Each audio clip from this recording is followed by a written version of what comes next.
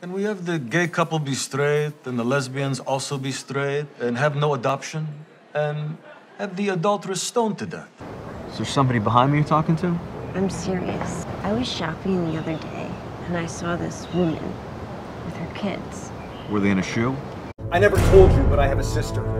When we were children. No, I've please seen don't. every sh- single please don't talk right now. Just listen. When we were children, she was abducted by aliens. I have spent my entire life trying to find her. Now, last night I was able to trace this woman to a bar on Flatbush Avenue. Alice. Yeah, that's right.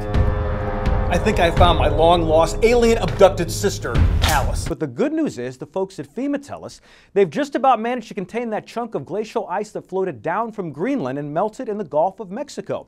One resident reported spotting a group of penguins waddling down the street. My advice grab the camera, get the kids, and don't pass up a great photo op. You sent me to the wrong place. What are you talking about? Wrong place. A priest? For the commercial? What priest? You're auditioning for a father as in parent. For what, an Al Qaeda family? That's Al Qaeda. You don't get me at all.